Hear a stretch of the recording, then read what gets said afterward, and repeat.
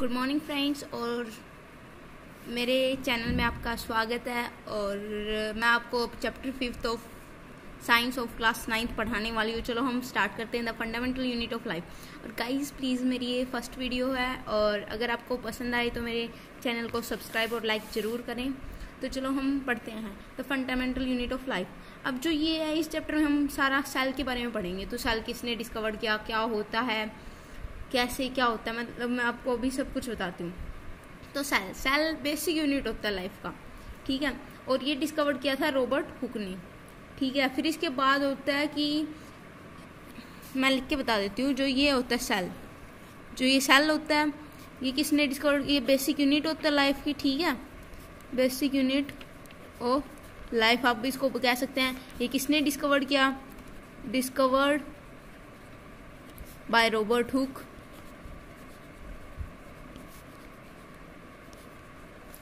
अब कब डिस्कवर्ड किया? इन 1665 ठीक है? अब जब, अब ये कहाँ से आया? जब जब रॉबर्ट हुक एक पेड़ की छाल ले रहे थे और उन्होंने अपने प्रिमिटिव माइक्रोस्कोप प्रिमिटिव माइक्रोस्कोप मतलब उनका खुद का बनाया हुआ माइक्रोस्कोप जैसे वो बुक में दे रखा है, देखिए।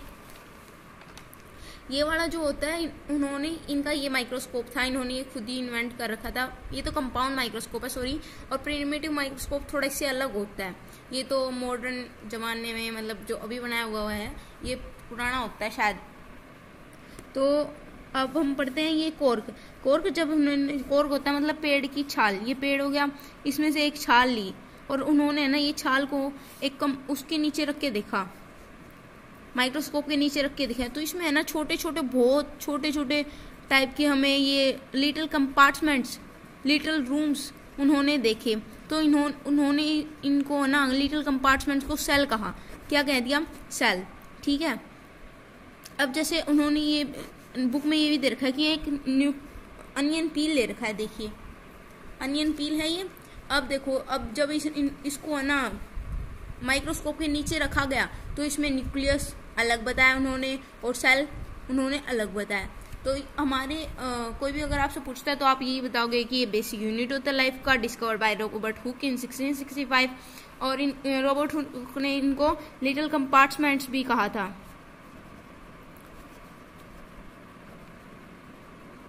तो आप इनको लिटिल कंपार्टमेंट्स भी कह सकते हैं और all all living things are composed of cells जो भी सारी चीज़ें हैं, वो सेल से बनी होती है और ये बेसिक यूनिट होता है लाइफ का।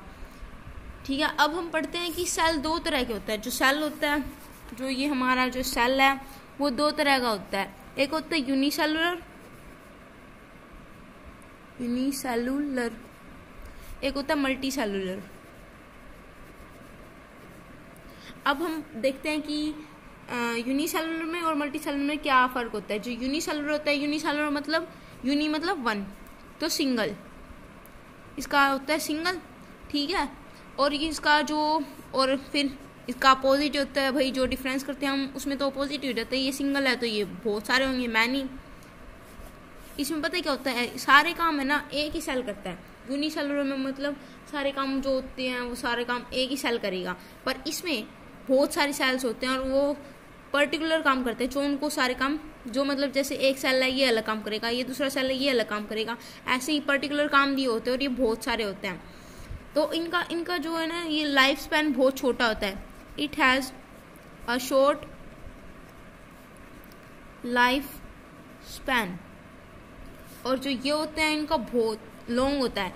It has a long life span आप सोच रहे होंगे कि ये तो भाई अजीब सी तरह ही समझा रहे हैं। और समझ में नहीं आ रहा भाई, मैं आपको है ना नोट्स दे दूँगी। मैंने खुद के प्रिपेयर करे हुए नोट्स हैं और मैं आपको डिस्क्रिप्शन पे वो नोट्स भी आपको प्रोवाइड कर दूँगी। और जैसे इसके जो एग्जांपल्स हैं, उसके एग्जांपल्स हो सकते हैं अमीबा ठीक है? अमीबा हो सकता है बैक्टीरिया हो सकता है एक्सेट्रा अब इसके एग्जांपल्स हैं प्लांट्स एनिमल्स एक्सेट्रा अब हमने ये तो पढ़ लिया कि सेल किसने डिस्कवर किया, कैसे हुआ कोर्ट से आया और कितने तरह के इसके टाइप्स कितने होते हैं। अब हम ये तो पढ़ें कि सेल बनता कैसे है और इसमें क्या क्या होता है। अब जो सेल है, अब हम पढ़ेंगे what is a cell made up of मतलब सेल किससे बना हुआ होता है? अब फ़र्स्ट पॉइंट है सेकंड और थर्ड फ़र्स्ट हम पढ़ेंगे प्लाज्मा मेम्ब्रेन फिर हम इसको प्लाज्मा मेम्ब्रेन को सेल मेम्ब्रेन भी कहते हैं. सेकंड होता है न्यूक्लियस ठीक है, इसको हम हेड क्वार्टर भी कहते हैं. Head quarter of the cell जो ये होता है न्यूक्लियस होता है, उसको एक नंबर में कई बार ये पूछ लिया जाता है कि है ना हेड क्वार्टर ऑफ़ सेल किसको कहा जाता है? वो न्यूक्लियस होता है। और थर्ड होता है इसमें साइटोप्लाज्म अब ये तीन है जिससे सेल बना हुआ होता है। अब हम, मैं बताती हूँ कि सेल प्लाज्मा मेम्ब्रेन और ये इनके बारे में बताती हूँ। देखिए, जैसे कि ये सेल है, ठीक है? इसके ऊपर एक ना लेयर होती है। ये मान लीजिए एक लेयर है। मेरी ड्राइंग वैसे इतनी अच्छी नहीं है, ऐसी घटिया सी है, बेकार सी तो मतलब आपको समझना है बस। ठीक है? जो ये होता है, ये होता है प्लाज्मा मेम्ब्रेन।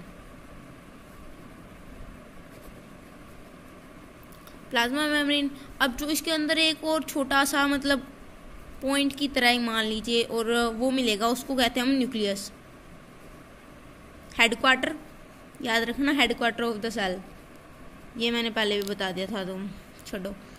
अब आता है साइटोप्लाज्म अब यहाँ पे ना फ्लूड लाइक स्ट्रक्चर होता है फ्लूड लिक्विड कुछ होता है, उसको हम कहते हैं साइटोप्लाज्म हमने ये तो पढ़ लिया, अब हम इसके बारे में डिटेल से पढ़ते हैं कि ये प्लाज्मा मेम्ब्रेन क्या होता है न्यूक्लियस क्या होता है साइटोप्लाज्म क्या होता है। अब प्लाज्मा मेम्ब्रेन के बारे में हम पढ़ते हैं। प्लाज्मा मेम्ब्रेन क्या होता है? जो इस सेल के ऊपर प्लाज्मा मेम्ब्रेन थी ना, ऐसे, ये वाली प्लाज्मा मेम्ब्रेन अब हम इसके बारे में पहले पढ़ेंगे कि प्लाज्मा मेम्ब्रेन अब इसका फ़र्स्ट पॉइंट है कि ना ये प्रोटीन और लिपिड से बनी होती है। It is made up of proteins and lipids ठीक है, इसके बारे में आप ये लिख सकते हो। सेकंड पॉइंट भी आप बना सकते हो। इट इज़ वेरी फ्लेक्सिबल ये बहुत ज़्यादा फ्लेक्सिबल होती है। ठीक है? अब थर्ड पॉइंट में आपको बताना पड़ेगा कि मतलब ये क्या काम करती है। ये ना आउटर मोस्ट कवरिंग होती है सेल की। आप ये भी बता सकते हो जो ये सेल है, इसके ऊपर की आउटर मोस्ट कवरिंग होती है। तो थर्ड पॉइंट हमारा ये बन जाता है कि it is the outer most covering of the cell ठीक है? फोर्थ पॉइंट आप ये बताना कि मतलब अब ये तो बता दिया कि ये इससे बनी होती है, बहुत ज़्यादा फ्लैक्सीबल होती है, ये बाहर की कवरिंग होती है, पर ये काम क्या करती है भाई, ये कौन बताएगा? तो ये काम करती है कि ये ना ये अलो करती है कि क्या अंदर आना है, क्या बाहर जाना है, कि जैसे देखे, जो प्लांट्स होते हैं वो क्या करते हैं? सी ओ टू लेते हैं और ऑक्सीजन छोड़ते हैं।